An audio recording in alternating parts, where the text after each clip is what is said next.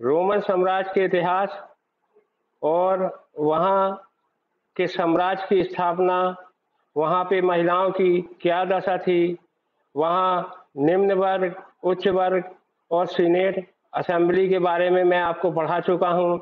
अब मैं पढ़ाने जा रहा हूँ आपको रोमन साम्राज्य में दास प्रथा व श्रम प्रबंध। ऐसा माना जाता है कि रोम साम्राज्य के अंतर्गत दास प्रथा अपने चरम पर थी। रोमन कानून के अनुसार दास को संपत्ति माना जाता था। दासों के लिए समानतः सर्वोच्च शब्द का प्रयोग किया जाता था। दासों को एक वस्तु माना जाता था, जिन्हें पशु के समान बाज़ार में खरीदा और बेचा जाता था। दासों को पूंजी निवेश की दृष्टि से देखा जाता था। दासों पर उनके मालिकों का पूर्ण अधिकार होता था। दास लोग मौलिक एवं वैधानिक अधिकारों से पूरी तरह वंचित थे। समाज में उनकी कोई हैसियत नहीं थी। रोमन साम्राज्य के अंतर्गत अभिजात वर्ग के पास पश्चिमी क्षेत्रों में स्पेन गाल और इटली में विशाल भूभाग क्षेत्र थे। पश्चिमी यूरोप की कृषि अर्थव्यवस्था में विशाल आकार की जमींदारों को ले, लेटी फूडिया कहा जाता था। लेटी फूडिया में खेती दासों के द्वारा कराई जाती थी। इसके अतिरिक्त खनन और हस्तलिपि उत्पादन के लगभग 90 प्रतिशत दासों से ही कराए जाते थे। मालिकों का अपने दासों पर कठोर नियंत्रण होता था। इन पर अनेक प्रकार के अत्याचार किए जाते थे। एक इलाके से पकड़े गए दासों को एक साथ नहीं रखा जाता था। एक इलाके के दासों को दूसरे इलाके के दासों के साथ मिला दिया जाता था, ताकि आपस में मिलकर गुटबाजी ना करें। किसी एक काम में अलग अलग भाषा बोलने वालों को काम पर लगाया जाता था। इस प्रकार दास में ना तो भाषाई संबंध होता था और ना ही उनके मत बंधुता पर आधारित कोई संबंध होता था। उनकी आपस में अथवा अपनी कोई पहचान रही होती थी। उन्हें अपने मालिक द्वारा दिए गए नाम से जाना जाता था। इससे स्पष्ट होता है कि उच्च वर्ग के लोग दासों के प्रति प्राय कूटपूर्ण व्यवहार किया करते थे। चौथी शताब्दी में सम्राट कंस्टेंटाइन ने ईसाई धर्म को राज धर्म घोषित किया था। तब यह उम्मीद की कि दासों के प्रति मानवीय दृष्टिकोण अपनाया जाएगा, लेकिन इसके बाद भी रोम में दासों की स्थिति में कोई विशेष परिवर्तन नहीं हुआ। रोम साम्राज्य के अनेक भागों में दास रोमन अर्थव्यवस्था के अभिन्न अंग माने जाते थे, क्योंकि अधिकांश श्रम उन्हीं के द्वारा किया जाता था। सम्राट आंग स्टच के शासन के दौरान इटली की कुल आबादी पचहत्तर लाख थी। इसमें दासों की संख्या तीस लाख थी यद्यपि उच्च वर्ग द्वारा दासों पर अनेक अत्याचार किए जाते थे। लेकिन साधारण जनता का दृष्टिकोण उनके प्रति सहानुभूति पूर्ण था। रोमन साम्राज्य में प्रथम शताब्दी ईस्वी में युद्धों तथा लड़ाई झगड़ों में कमी आई। जिसके परिणाम स्वरूप दासों की आपूर्ति कम हो गई। दास श्रम का संकट उत्पन्न हो गया। उच्च वर्ग जो दास श्रम पर आश्रित था, उसे दास प्रजनन अथवा वेतन भोगी श्रमिकों जैसे उपायों का सहारा लेने के लिए विवश होना पड़ा। वेतन भोगी श्रमिकों की अपेक्षा दास श्रम अधिक महँगा पड़ता था, क्योंकि वेतन भोगी श्रमिक को केवल काम वाले दिनों का वेतन देना होता था, जबकि दास श्रमिकों को पूरे साल भोजन देना पड़ता था। उसके अन्य खर्चों को भी वहन करना पड़ता था।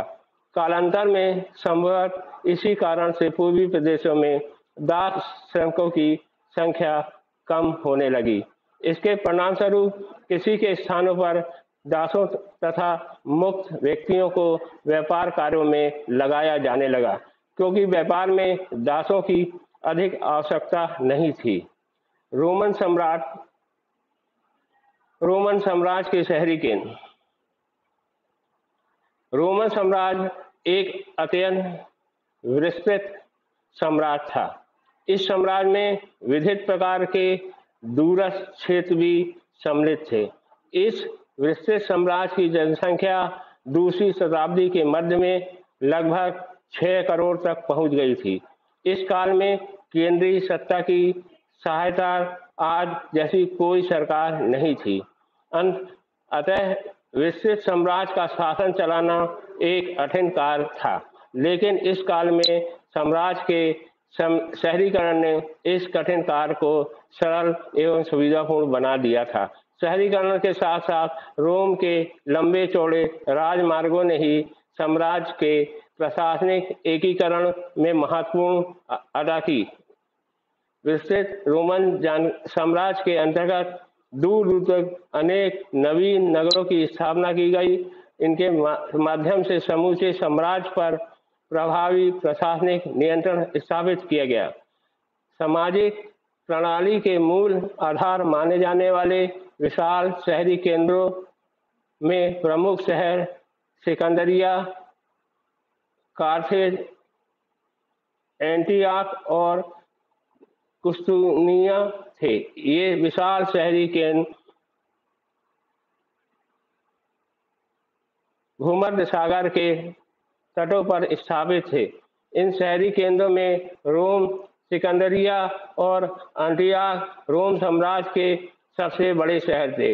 इसमें सिकंदरिया मिस्र में स्थित था और एंटिया सीरिया में स्थित था। सिकंदरिया रोमन साम्राज्य का संभव सबसे बड़ा बंदरगाह था।